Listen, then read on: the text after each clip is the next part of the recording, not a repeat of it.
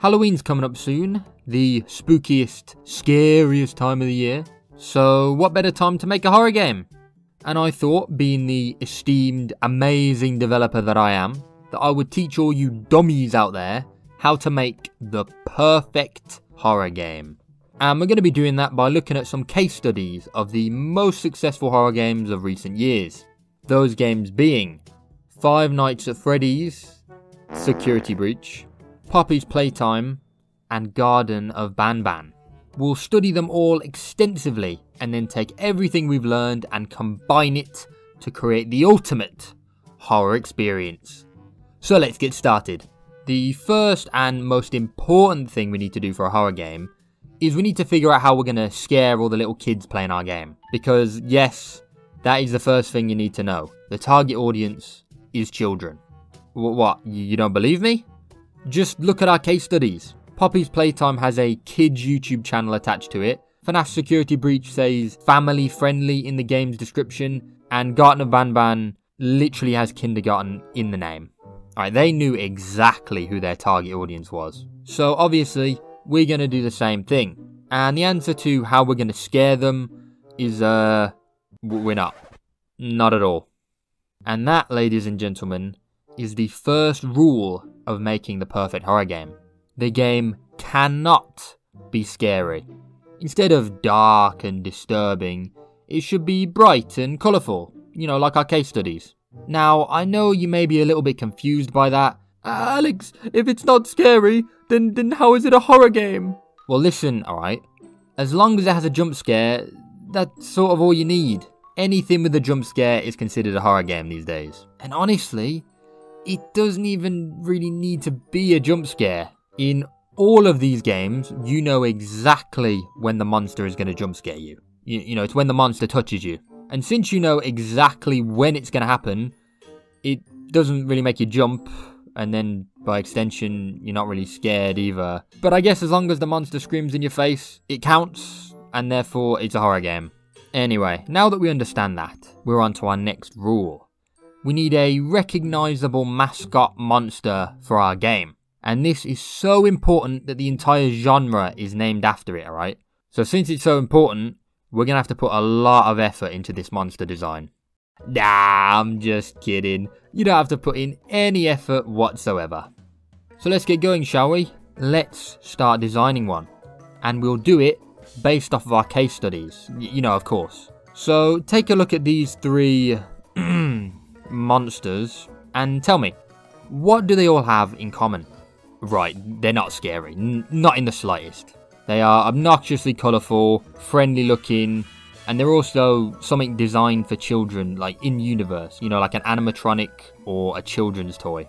So they're things for children in the context of the game and in real life. So obviously, we're going to go down a similar route. And I decided that since this is going to be a mascot horror game, we'll make the mascot literally a mascot, like like a school mascot, one of these guys.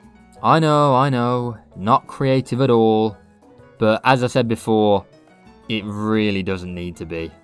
Anyway, mascots are typically based on animals, which is great for us because kids love animals. But we can't have something like a, a bear or a tiger. No, no, no, no, no. Much too scary and dangerous. So instead, I googled the most harmless animals, and number one was a sheep. So, uh, sheep it is, I guess.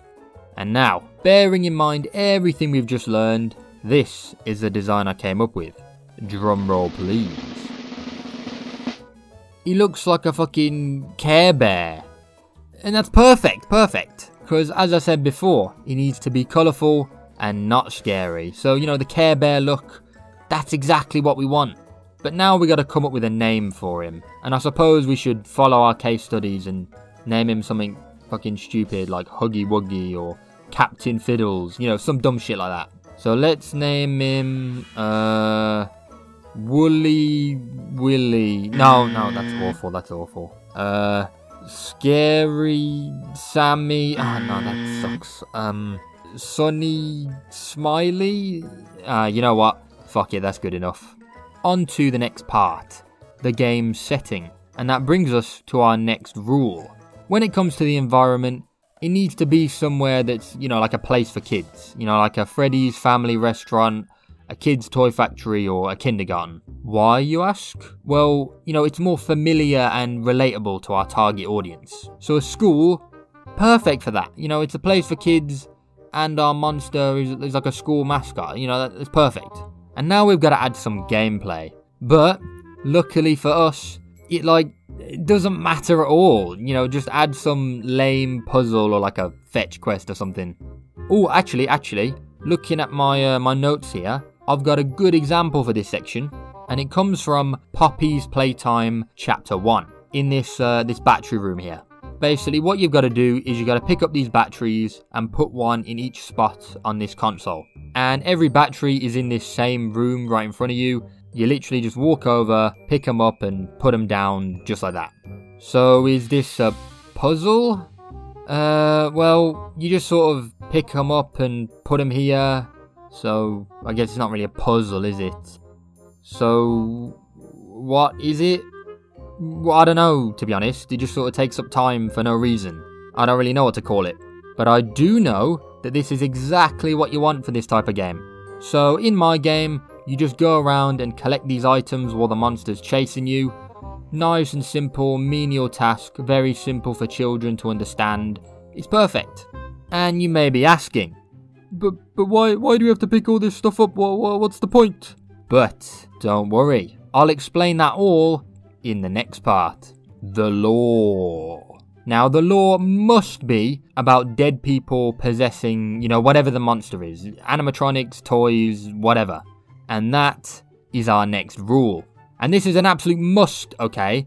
Every horror game has this. FNAF has dead kids possessing animatronics.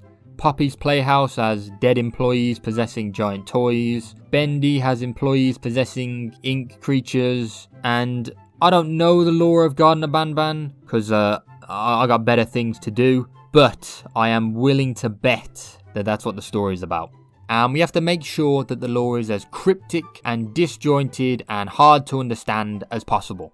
And that is our final rule to making the perfect horror game. You know, we can't use normal methods to tell the story like a cutscene or gameplay or something. No, no, no, no, no, definitely not. Make sure you only tell your story via audio tapes, written notes, or like maybe videotapes. And without reading these notes, the game will make literally no sense. But, but that's that's fine, alright? Don't worry if it doesn't make sense. That's completely fine, completely normal. Uh, you'll probably change the whole story in the sequel anyway. I mean, all that stuff that was once, you know, really important, it'll just be forgotten about in like two games. So don't sweat it, alright?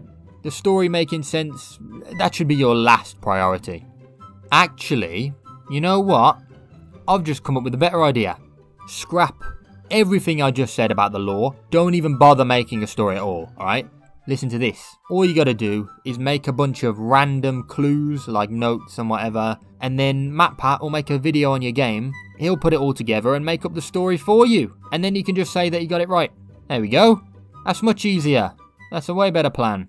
Now the game is almost completely done, but we need to add one final touch you gotta make sure you go hard on the monetization. Specifically, merch. Even if just chapter 1 is out with like 10 minutes of gameplay, get that merch in there. Alright, t shirts, hats, teddies, NFTs, the whole lot, alright? And that, my friends, is the final rule. And that is how you make the perfect horror game. So if you want to make your own, just follow these rules and you're good to go. As for this game, I got a feeling this will be the next big hit on YouTube Kids.